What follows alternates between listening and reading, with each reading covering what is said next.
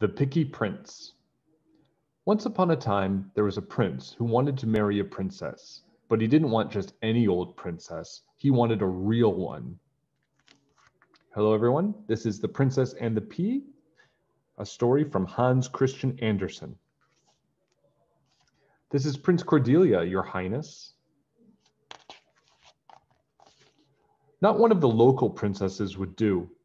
What's the matter with them, Patrick? cried his father, the king. I'm running out of princesses to show you. Are they too old, too tall, too hairy? I can't be sure they're real, sighed Prince Patrick. I'll have to find one for myself. You must do whatever you want, darling, said the queen, who spoiled him rotten. Nothing but the best for my princey wincy, mother. The next day, Prince Patrick set out to travel the world in search of a real princess. Ready, Freddy? I think my arm's stuck. He took with him 12 suitcases, 10 pairs of shoes, a spare crown, and his cousin Fred. Goodbye, my love, cried the queen, wiping away a tear with her silk handkerchief. Don't forget to wrap up warm and brush your teeth. I'll be fine. Stop fussing. They hadn't gone far when they heard a loud sneeze from under the seat. Who's there? shouted the prince. A small figure crept out. It's Peg. Aren't you the palace maid? said Prince Patrick. Peg nodded. Well, what are you doing here? the prince asked. I want to see the world, said Peg. I've been at the palace all my life, ever since I was left on the doorstep as a baby. I want an adventure. She blushed. And Cook's furious because I burned the pudding, she added. Well, you can't come with us, said Fred. This is a boys only adventure. You'll get scared and want to go home. No, I won't. I'm just as brave as you. We're not turning back now, said Prince Patrick. She'll have to join us. Peg grinned at Fred. Okay, Prince Patrick went on. First stop, the Wicked Witch's hut. Fred looked alarmed. You are joking. She'll eat us alive. Who's scared now? Prince Patrick shook his head. The witch will know how to find a real princess. She's my best hope. Chapter 2 Off to see the witch. Now, Peg, said Prince Patrick, this could be dangerous. You stay in the coach. Fred and I will meet the witch. The prince knocked three times on the witch's door. There was no answer. Why couldn't I stay in the coach? Looks like no one's in. We'll have to go, said Fred, who was already backing away. I think Fred is scared of the witch. She must be in, said the prince, and he bent down to peer through the keyhole.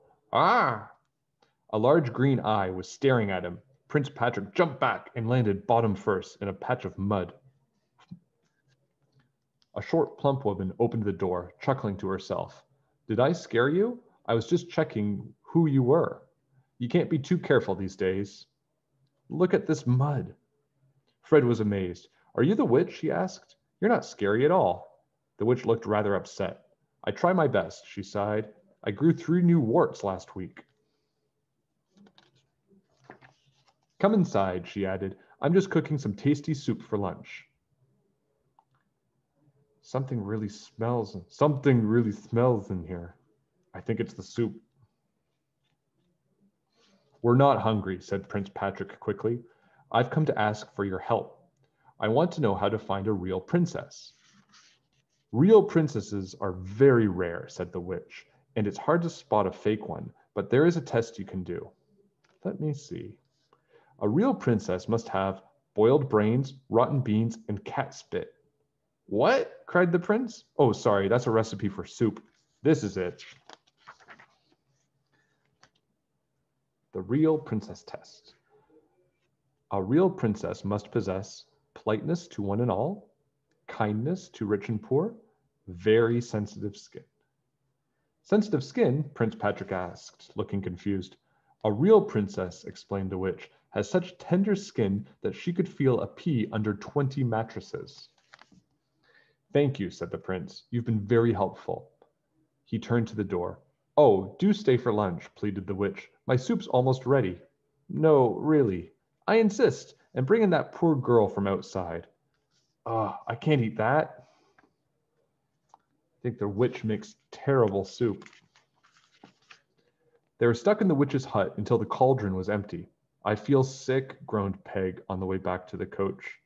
Well, you shouldn't have had three bowls then, said Fred. I poured mine into a plant pot. I was being polite. I didn't want to hurt the witch's feelings. That was very kind of you, Peg, said Prince Patrick, smiling at her. Where are we going now? asked Fred. Now I have the witch's test. I can finally find a real princess, said the prince. We're off to meet Prince Prunella. Check the map, Fred. Princess map. Princess Primrose, Princess Pavlova, Princess Prunella, which is where they're going, and Princess Prudence. Chapter 3 Princess Prunella. Princess Prunella was very excited to see the prince.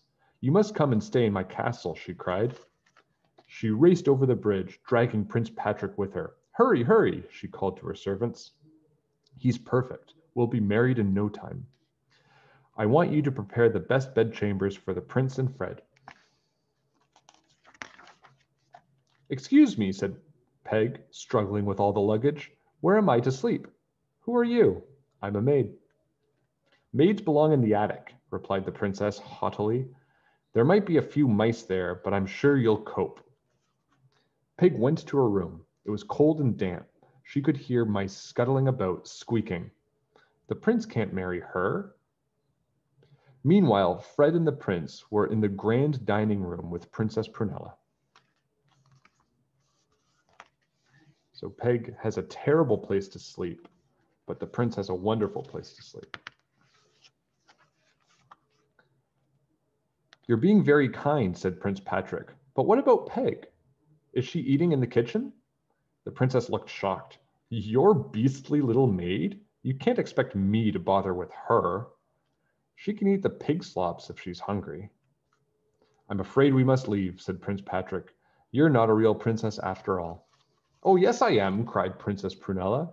Oh, no, you're not, shouted Fred. You failed the first real princess test. Rats. Real princesses are polite to everyone, explained Prince Patrick, and you've just been rude to Peg. Chapter 4 Princess Pavlova. I won't give up, said Prince Patrick. There must be a real princess somewhere. According to this map, there's a Princess Pavlova next door. Let's try her, Fred suggested. Princess Pavlova greeted them all very politely. What a pleasure to have you here, she said. Welcome to my castle. Thank you, Your Highness. She's passed the politeness test, thought the prince. Now, what's the next one? Hmm, I have an idea. Fred, he cried, I have a plan. I'm going to dress up as a beggar and see if Princess Pavlova is kind to me. Try out your disguise on Peg first, said Craig, said Fred, to make sure it works. Princess Patrick found Peg sitting on a tree stump about to eat an apple. I'm a hungry beggar. Have you any food for me? Oh, you poor thing, Peg cried when she saw him. Here, have my apple. So Peg is nice to the beggar. Prince Patrick was very pleased with himself. Excellent, it works, he shouted, throwing off his disguise. It's you! What are you doing? asked Peg. But the prince was already knocking on the castle door to try the test on Princess Pavlova. A servant answered. Is someone there? called Princess Pavlova. It's a beggar, your highness. We've got nothing for him, snapped the princess. Tell him to go away. And he smells. Prince Patrick turned away, She's not a real princess, he thought. A real princess is both polite and kind, even to beggars. Chapter 5 A Real Princess. I'll never be married. I give up, said the prince with a sigh. I don't think there's a real princess anywhere. We may as well go home. They got ready for the long journey back to the palace. Everyone was glum, even the horses. I bet Cook hasn't forgotten about the pudding I burned. The coach arrived at the palace just in time. A huge storm was brewing. Peg was sent straight to the kitchen in disgrace. You've got hundreds of dishes to wash, scolded the cook. They've been piling up since you've left. Prince Patrick and Fred went to find the king and queen. Outside, Ran began beating against the windows. Streaks of lightning lit up the sky. Just then, there was a knock on the door. There is a Princess Primrose to see you, your highness, said the footman. Not another one. A beautiful princess stepped into the room. She was wet from the rain and shaking with cold. I'm so sorry to trouble you, she said politely, but my coach has broken down. No trouble at all, said Prince Patrick quickly. Why don't you stay the night at our castle? We'll fix your coach in the morning. Thank you, I must give you something in return. She acts like a real princess, thought the prince but I must be sure. The third test, very sensitive skin. He asked the servants to prepare Princess Primrose's bedroom. I want 20 mattresses on the bed, ordered Prince Patrick, and a pea at the very bottom. Here's your bed, your highness. It's rather high. Peg didn't get to bed that night. She had to finish washing the dishes. Hmm, Peg has a lot of work to do. The next morning, Princess Primrose came down for breakfast, looking refreshed. How did you sleep? asked Prince Patrick. I slept like a baby. I loved all those mattresses, the princess said. It was the most comfortable bed. Prince Patrick sighed. a real princess would have felt that pea, he thought. He waved goodbye to Princess Primrose as soon as breakfast was over. Another fake one. She's not good enough for my Patrick. It was Peg's job to clean the princess's bedroom. Slowly she climbed up the ladder, yawning with each step. I'll just lie down for a moment, Peg thought, before I start cleaning up. In no time at all, she was fast asleep. An hour later, Peg woke with a start. Ow, she said. There's something really lumpy in this bed. I'm getting down. Oh, it's way too long. But as but as she leaned over, she knocked the ladder. It clattered to the ground. Drat, Peg cried. I'm stuck. Help, she shouted as loudly as she could. I'm stuck. Please help. Everyone rushed into the bedroom. What are you doing up there? Prince Patrick called. I was supposed to be cleaning, said Peg, but I was so tired I fell asleep. And there's something horribly hard in this bed, she added. I'm covered in bruises. This can only mean one thing. I can't believe it, cried the prince. You were polite to the witch, kind to a beggar, and now you've felt a pea under 20 mattresses. You must be a real princess. He raced up the ladder. Peg, will you marry me? Peg gasped. You want to marry me, a palace maid? Yes, please. A maid, but a princess at heart. Three cheers for Princess Peg, shouted Fred and and everyone cheered. So Prince Patrick finally married his real princess. He put the pea in a glass case in the Palace Museum for everyone to see. It may still be there today. Okay, so that's The Princess and the Pea. Um, this is a very famous book. Uh, I hope you liked it. I really like it, and um, you can borrow it from my library. I'll see you all next time.